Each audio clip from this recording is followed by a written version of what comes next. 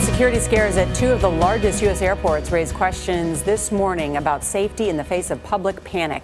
Reports of a gunman created chaos Sunday at Los Angeles International Airport. A similar report at New York's JFK Airport about two weeks ago sent stampedes of people running for cover.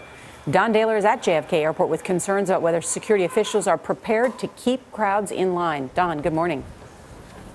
Yeah, good morning. The incident here at JFK shows that misinformation can lead to confusion and send people into a panic. With the U.S. Open tennis tournament gearing up nearby, authorities there are hoping that they can stay organized enough to keep people from being a danger to themselves. Come on! Hundreds of travelers inside Los Angeles International Airport were sent running for safety Sunday night. Operations, we have an emergency at the ticket counter. Following reports of an alleged shooter.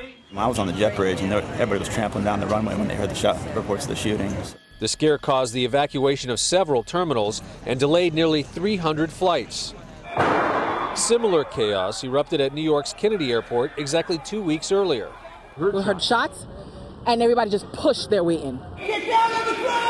Both incidents were discovered to be triggered by apparent loud noises.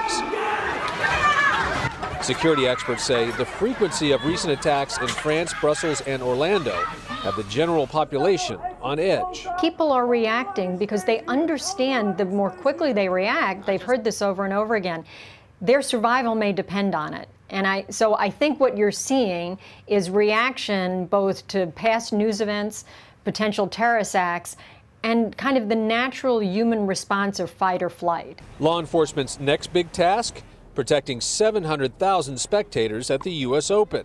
Hundreds of federal and local police, as well as private security officials, have all been assigned to protect the tournament crowds. Layers of protection have been installed, including screening checkpoints, roadblocks, and reinforced fencing, all in place to prevent a large scale attack. I have to also manage the security on the court. U.S. Open Security Director Michael Rodriguez says organization is key. We have a command center over here. In that command center is NYPD, FDNY, security company, medical services. So we have a way of getting all of our communication into one location. Even so, Rodriguez says there's no silver bullet solution to controlling the hordes of fans. No matter what we do to mitigate the risk from the threat out there, we're always going to have crowds at our events. Crowd management is never going away. So that's the thing we constantly, constantly need to work on. Rodriguez says they are also focusing on the so-called soft zones outside the security zones, for instance, where people line up in their cars. Counterterrorism units, the FBI, and even the U.S. Army are focused on keeping those areas safe. DeMarco? All right, Don, thank you.